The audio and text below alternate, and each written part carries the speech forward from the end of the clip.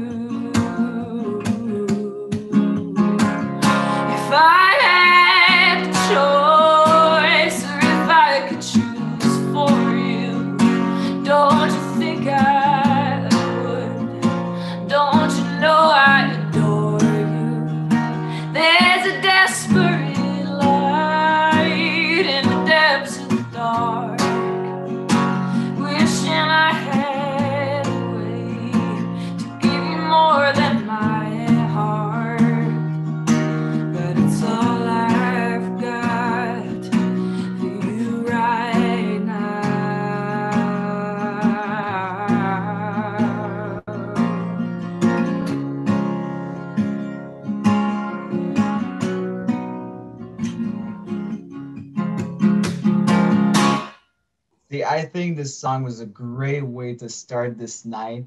And I think the message from this song is definitely one that many of us can relate to through our different experiences.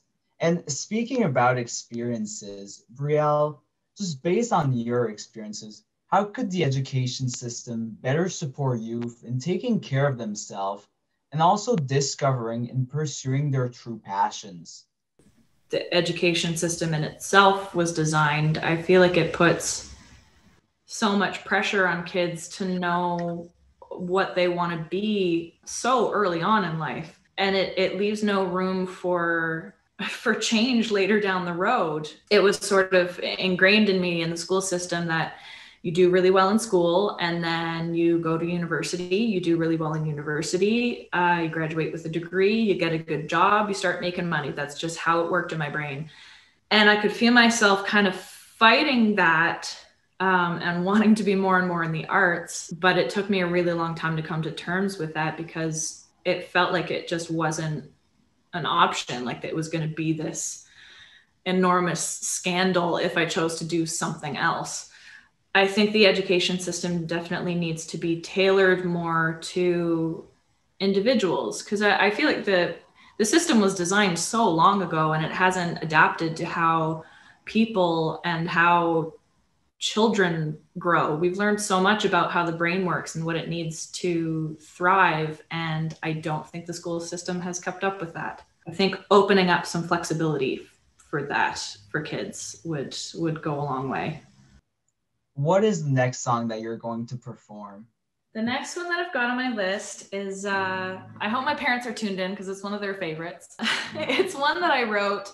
It started out just as a simple song about coal miners because I it was just kind of astonishing to me that there's still people who are who mine for a living, who risk their lives like that every day just to get by. But as I wrote it, it kind of took on a life of its own and became sort of a metaphor for that fear that um, struggling with your mental health gives you sometimes that it will keep you from having um, really beneficial meaningful relationships in your life.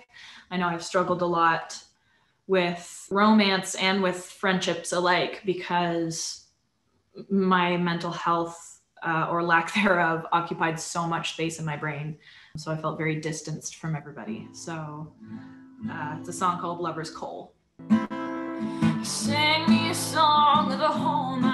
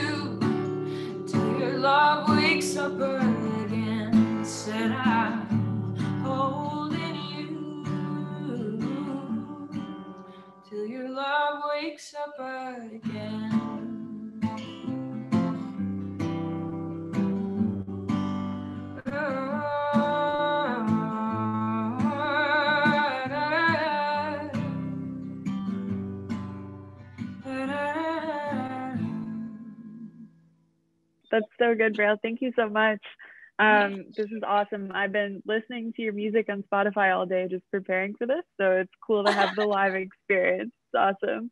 Um, but yeah, I guess a little bit more about you. So whenever we first chatted, um, you talked a lot about growing up super involved in extracurricular activities, just being a super high achiever, perfectionist, um, and how it not only contributed to the stress and pressure for you, but kind of acted as a barrier for you seeking help, which I think a lot of us have run into. Just I'm thinking of like the network reps and just mental health advocates in general, where we're really passionate about what we're doing, but we also have a lot of other things on our plates and trying to be mindful of burnout and stuff like that too, which I think a lot of us have faced. So I guess what would you say to people regarding the pressure to meet expectations that might not be what's best for them?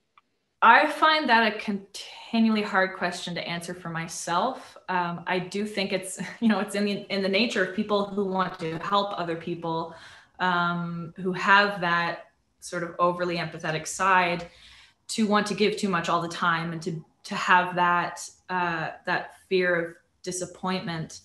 Um, what I've realized through my own journey is that nobody else's expectations are anywhere close as high as my own are for myself.